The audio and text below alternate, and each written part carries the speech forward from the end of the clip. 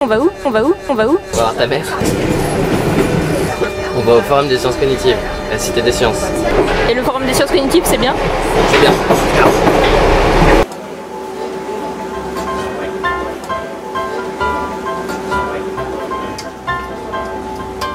Bonjour, vous voulez un programme? Bienvenue au Forum des sciences cognitives. C'est ma deuxième année de bénévolat au Forum des sciences cognitives, le rendez-vous annuel des curieux, des étudiants, des chercheurs en sciences cognitives. Et les sciences cognitives, c'est quoi? Ah, c'est pas faux. À l'aide. Les sciences cognitives, c'est un ensemble de disciplines qui va s'intéresser euh, à l'étude des fonctions cognitives supérieures, donc euh, aux fonctions du cerveau. Les sciences cognitives, c'est l'étude de la théorie de l'information en s'appuyant sur euh, plusieurs grandes disciplines, la psychologie, la linguistique, les neurosciences, mais aussi euh, les robotiques ou la philosophie. Pour moi, ce sont les sciences qui traitent la manière dont le cerveau euh, euh, va traiter une information, telle que le contenu émotionnel, le contenu mnésique, le contenu perceptif, les actions. Et je t'ai vu, Eleonore. C'est Connivence donc euh, qui organise le forum, l'association qui organise la vie euh, étudiante du Cogmaster, le master de sciences cognitives qui est cohabilité par l'ENS, le HESS et Paris Descartes. On a des sponsors pour rentabiliser. Qu'est-ce que tu fais là Je distribue des programmes, Ah oui? Oui, et j'informe les gens sur la localisation des salles.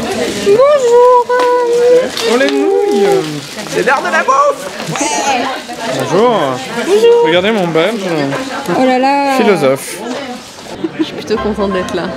Bonjour, je suis Arnaud Tételin, coprésident de l'association Disposé. Et moi, je suis Warren Boyot, coprésident de l'association Disposée également.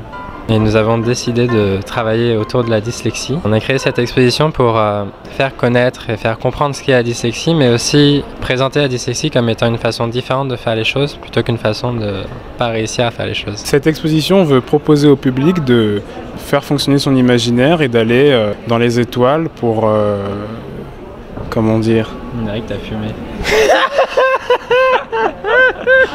Faire.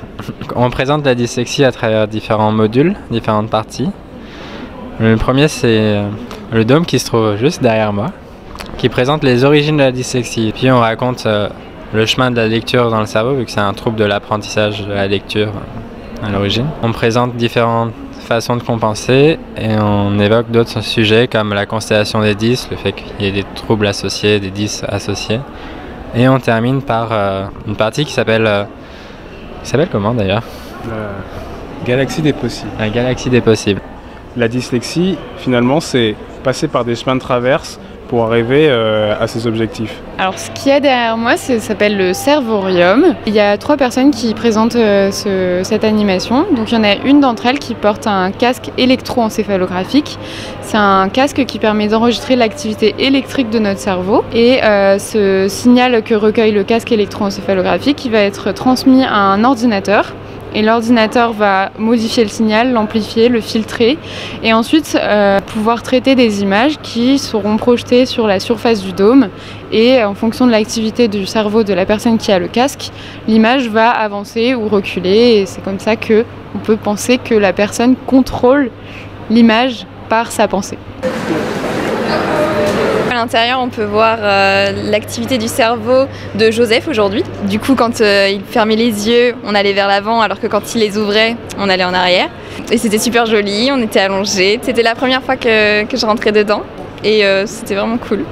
J'ai été exposant au Forum des sciences cognitives aujourd'hui pour présenter le jeu Expédition Sagesse qu'on développe avec mon association Efficience. C'est un jeu de philo pour enfants, mais qui est aussi très intéressant pour euh, des adultes. J'ai eu l'occasion de rencontrer des enseignants, des parents, des curieux, des étudiants. euh, la plupart des gens ont adoré. Et donc on s'est appuyé notamment sur certains principes de sciences cognitives pour rendre le jeu euh, intéressant et utile euh, en matière d'apprentissage. Je m'appelle Marine, je suis au M1 du Cogmaster et je suis vice-présidente de l'association Connivence. Et moi je suis Julie Merlin et du coup j'étais cette année membre active dans Connivence. Euh, Qu'est-ce que ça représente l'organisation du Forum des sciences cognitives? Un challenge en fait. Enfin, c'est hyper important pour moi de pouvoir diffuser les, les connaissances scientifiques auprès du grand public.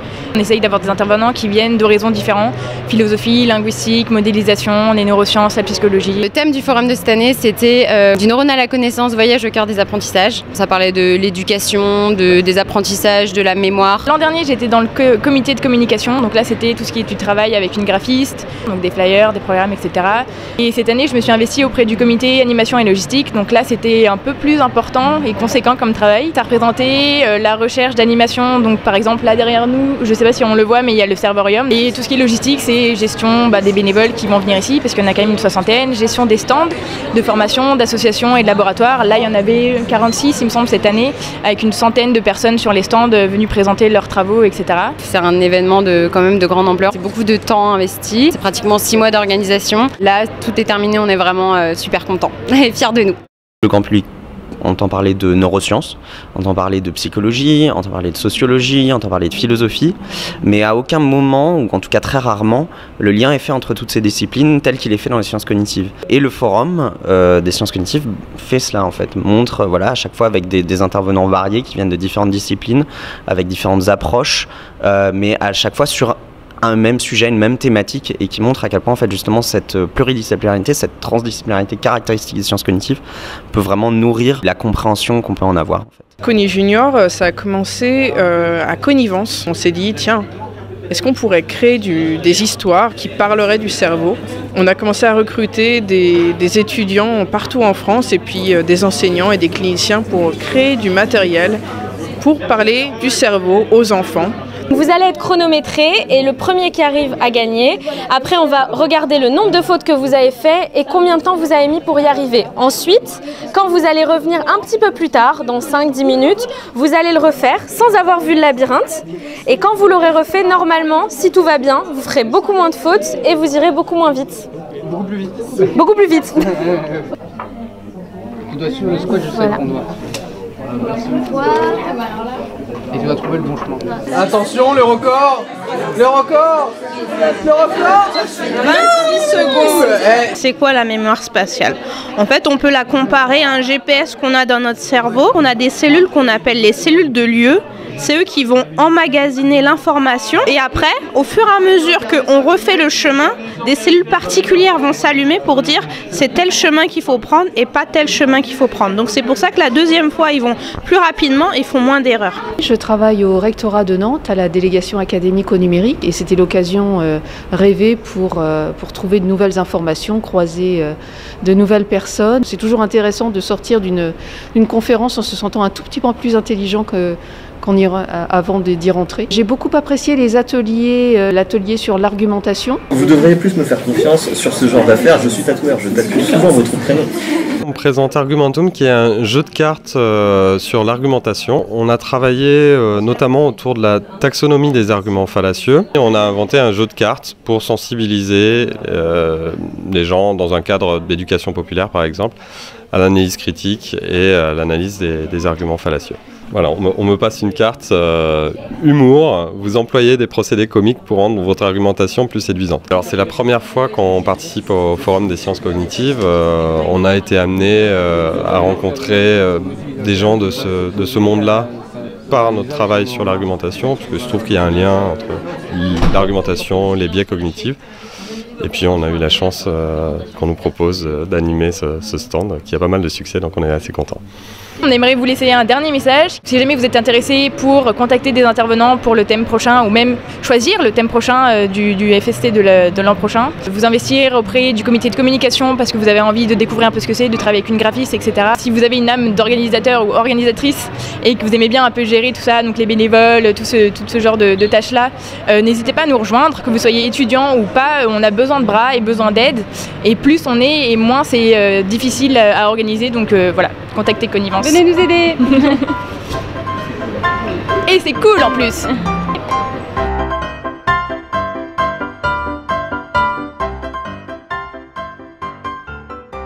Connivence c'est bien, c'est le bien, parce qu'ils font le forum, et le forum c'est cool, parce que chaque année il y a le forum, et chaque année c'est vraiment cool. Je sais pas, c'est de génération en génération, on se transmet nos savoirs, on se transmet notre envie, et, et j'adore, j'adore ce moment, j'adore cette journée. Et il n'y a pas d'alcool à disposition, c'était que de l'eau dans les bouteilles. C'est ça qu'il faut dire. hein. Tous les, les gens de cette famille des Sciences Co, c'est les meilleurs et ils sont trop beaux et trop forts. Et ensuite, j'ai commencé à vendre mon pain. Euh, donc si jamais il y a des personnes qui sont intéressées, parce qu'après les Sciences Co, il y a une vie. Euh, il y a une vie dans, le manuel, on peut faire plein de choses, euh, de la cuisine notamment. Et donc si les personnes sont intéressées par du pain naturel à la farine bio, le vin, à 100% artisanal, et ben écoutez, contactez-moi, Charlie Goldschmidt. Gaïa a goûté les pains, elle les aime beaucoup, elle les fait goûter à plein de gens. Morgane, je sais que tu en as goûté, qu'est-ce que tu en penses? Bah, je dirais que les miches à Charlélie, euh, elles sont bien fermes. Aujourd'hui, Morgane va nous expliquer comment on reset un perco. Morgane, comment on reset un perco Alors, comment on reset un perco? Alors, tout simplement, quand le perco ne fait plus chut, malgré que le bouton warm est activé, il suffit de demander à un bénévole de soulever le perco, de glisser la main sur le bouton reset et l'appuyer délicatement dessus jusqu'à ce que le Et c'est comme ça qu'on reset un perco. Merci Morgane. À l'année prochaine. Oui, bah, à l'année prochaine. Moi, vu la croissance que ça va, que c'est en train d'acquérir, c'est vrai qu'on passe euh, d'une petite salle à la cité universitaire, à un grand couvent dans un campus de médecine, ensuite la cité des sciences. c'est- franchement, ça, donne envie de rêver. Las Vegas dans 3 ans, je sais pas. C'est vrai que c'est pas impossible. On peut se permettre de rêver. hein. Las Vegas, c'est un peu la ville des rêves, hein, euh, ce qui nous met des étoiles dans les yeux. Hum, je pense que c'est faisable, ça demandera un investissement plus important, hein. forcément ça, aurait des coûts, c'est évident. Mais vu la croissance que, ça a, j'ai confiance dans l'équipe de connivence de 3 ans pour le faire à Las Vegas, oui, complètement. L'édition euh, donc 2020, ce serait sur quel thème si vous pouviez choisir? Euh, Cognition et art, euh, cognition et musique notamment. Nous aimerions en savoir plus sur les liens existants entre la boulangerie et les sciences cognitives. Alors, euh, en réalité, on peut en voir beaucoup. Euh, déjà sur la, la cognition du goût, tout simplement. Euh, sur la cognition incarnée, toutes les techniques du corps qui sont en jeu dans la boulangerie euh, sont vraiment fascinantes. Il y a vraiment euh, beaucoup de, de mémoire kinesthésique qui est en jeu. Ensuite, je pense qu'il y a beaucoup de questions, alors qui, sont un domaine connexe, mais qui touchent pas mal les sciences cognitives en évolution culturelle en fait, sur comment le pain et plus généralement les nourritures fermentées ont évolué parce que elles, elles sont complètement dans le module de dégoût, c'est-à-dire que vraiment genre on sent une nourriture fermentée en général, on a un fort dégoût. Par exemple, le levain qui est utilisé pour la fabrication du pain a une odeur souvent très forte et il ne se mange pas en soi.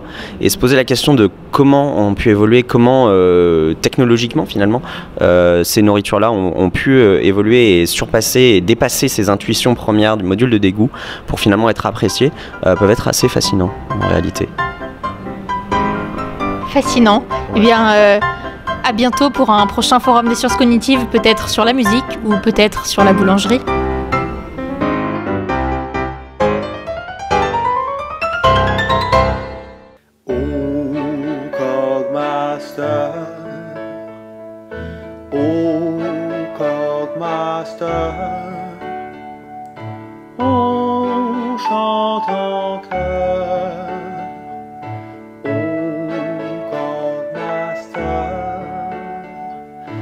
La bonne humeur. Oh, Cogmaster. Allez, tous ensemble.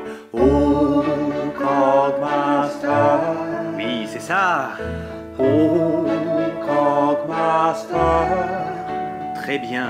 On chante en chœur.